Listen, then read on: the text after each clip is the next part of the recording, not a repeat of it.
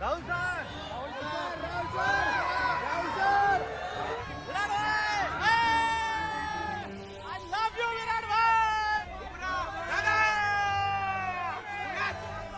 दोस्तों, जैसे ही team India के सभी खिलाड़ी जीत के बाद होटल से रवाना होते हैं तो बाहर इंडियन फैंस उनका जोरदार वेलकम करते हैं और उनसे ऑटोग्राफ भी लेते हैं और काफ़ी ज़ोर ज़ोर से नारे लगाने लगते हैं विराट विराट के और रोहित रोहित के, साथ ही साथ वंदे मातरम के। क्योंकि जिस तरह से टीम इंडिया जीती है, उनके फैंस का जश्न मनाना तो बनता है। तो टीम इंडिया की जीत के बारे में आपकी क्या राय है, हमें कमेंट करके ज़रूर बताएँ।